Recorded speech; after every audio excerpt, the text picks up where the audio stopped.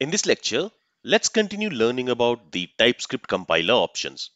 Let's go to VS Code and here let's go to tsconfig.json file. Now the next option which we are going to talk about is this lib option. This lib is an option that allows us to specify which features and APIs the TypeScript should be aware of and allow us to use. So if I scroll a little bit right, you will notice that this feature specifies a set of bundled library declaration files that describes the target runtime environment. Let's try to understand it practically. So let's go to app.ts file and there what I will do is first of all I will open index.html and in there I'm going to add a button element and on this button I'm going to specify an ID property and I'll simply set it to btn okay so now in the HTML file we should also have a button element. So you can see this button. Let me give a name here. Let's say click me. Let's save it now. And now you will see that button. Let me close this file. And now in the app.ts what we want is we want to access this button element and we want to listen to click event on this button element. For that, let's create a variable. Let's call this variable maybe button. And to get access to this button element, we are going to use document.getElementById. by ID. And here we are going to pass the ID of that button, which is btn.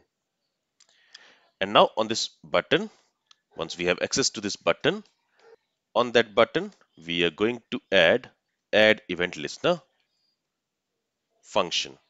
Okay. And here it should be button. Now here we want to listen to click event. And when that click event happens let's also pass a callback function which should get called. And here we simply want to log a message in the console saying that button is clicked. Okay. Now here we have an error because TypeScript does not know whether this expression is going to return a button element or not. So for now, what we will do is we will use this exclamation here. Now I'll explain it in the future lectures. What is the use of this? But for now, we are simply telling TypeScript that we are of course going to receive a button element from this expression. So this exclamation simply tells TypeScript, it simply assures TypeScript that we are going to get an element here. And on that element, we want to listen to click event. Okay. Now, if we save the changes and if we compile this app.ts, it compiles successfully. You see, we don't have any errors. But the main question is, how does TypeScript know about this document variable, this document object? How does it know that this document object has this get element by ID method? How does it know that this button has this add event listener method. So how does TypeScript know all this? Now you might say, of course, TypeScript knows about them because in vanilla JavaScript, this would be a valid JavaScript code. But keep in mind that when you write a TypeScript code, you don't always write it for browsers. Because TypeScript is a programming language which can be used in both front-end and back-end. We can also use TypeScript with Node.js. And there, this code will not work because in Node.js we don't have any document object. We don't get any access to the DOM elements or anything like that. So there this code will not work. So how does TypeScript knows that this code we are writing for DOM manipulation. We are not writing it for Node.js. The reason why this works is because in this tsconfig.json file, we have this lib option which is currently commented. And since it is commented, some defaults will be set for this option. And these defaults depends on what JavaScript version is being targeted here. In our case, this ES 2016 JavaScript version is being targeted here. Okay, so when we are targeting this ES 2016 JavaScript version, that simply means that by default, this lib option, this TypeScript project, it is targeting all ES 2016 features plus all the DOM APIs. So all the ES 2016 features and all the DOM APIs will be available by default for this project. But if we go ahead and if we uncomment this option if I save this and now if we go to app.ts, there you will notice that now we have some errors. So now this TypeScript project does not know about this document object and it even does not know about this console. Now why is that? That's because as soon as we uncommented this lib option, we don't have any default settings anymore. And now it is required to specify what libraries should be targeted here. Okay. So currently, since we have not specified any value there, no library is included.